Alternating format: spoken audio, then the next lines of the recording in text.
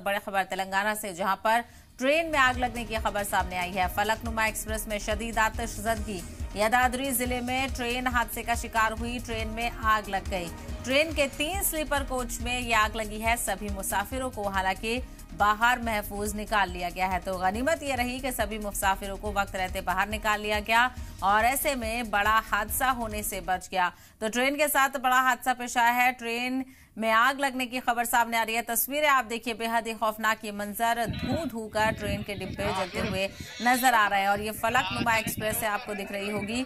यदाद्री ज़िले में, तेलंगाना के यदाद्री ज़िले में फलकनुमा एक्सप्रेस में आग लगती हुई नज़र आ रही है। आपको यदाद्री ज़िले में ट्रेन में शदीद आतिशजदगी ट्रेन के तीन स्लीपर कोच आग में धू धू करके जल गए। सभी मुसाफिरों को हालाँकि महफूज बाहर निकाल लिया गया है।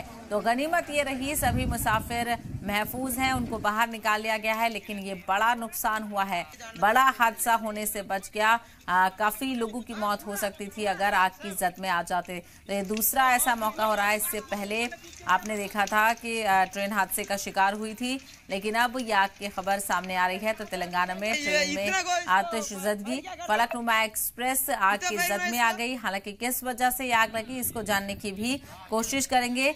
लेकिन फ़िलहाल आप तस्वीरें देखिए। इतनी खौफनाक ये तस्वीरें हैं।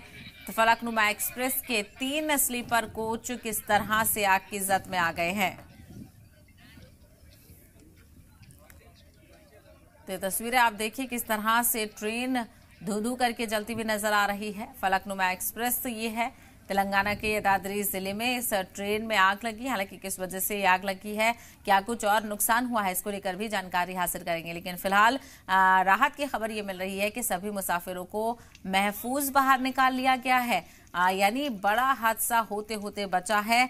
गनीमत ये रही है कि सभी महफूज, सभी मुसाफिर महफूज हैं, सभी को बाहर निकाल लिया गया है। तस्वीर आप देखिए, बेहद खतरनाक आग ये नज़र आ रही है और अगर बर वक्त कार्रवाई नहीं की जाती तो बड़ा हादसा हो सकता था। तस्वीर आप देख सकते हैं किस तरह से यादाद्री